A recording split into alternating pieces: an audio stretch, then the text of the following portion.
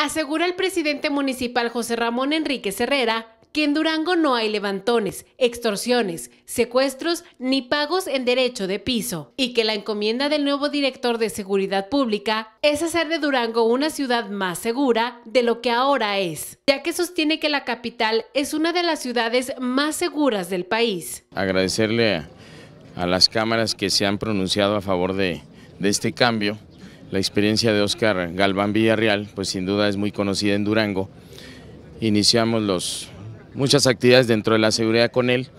Hay que hacer estas renovaciones, hay que reforzar las actividades de la propia seguridad y sin duda que el perfil de Oscar nos va a dar para que podamos hacer más segura esta ciudad. Somos una de las ciudades más seguras del país, pero queremos estar en mejores condiciones. México vive una ola de violencia que hoy no vive Durango, vive una ola de secuestros, de homicidios dolosos que Durango no tiene esta circunstancia.